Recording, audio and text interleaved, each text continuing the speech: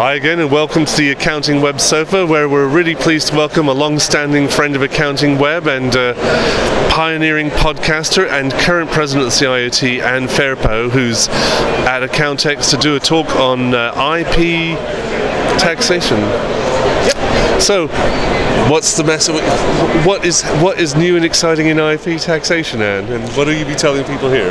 Um, what's new? What isn't new and exciting in IP taxation? It's the uh, the tax of the moment. Let's face it. I mean, I've been dealing with IP tax for 20 years, and it suddenly became fashionable three years ago. I'm still sort of head spinning. But no, today, um, round up on the patent box. I know it's been in the press a lot, but there's still a lot people need to know about it, including the fact it's not quite as much of a giveaway as it might sometimes be.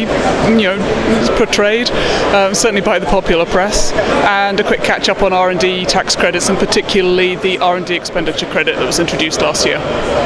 And will they pose really serious complications and cause trouble for advisors and, and companies, or, or is it just fairly straightforward once you get your head around the actual qualification? Uh, R&D continues, I think, to be the more complicated of the two reliefs because of the difficulty of actually determining what is R&D, and also the fact that far too many people think it's just people in white coats. Uh, actually, what qualifies as research and development can be much wider than that. Uh, and the real issue for advisors is, as it always has been, um, just making sure you're actually advising clients when they might be uh, eligible for this. They should explore it, not just ignore it.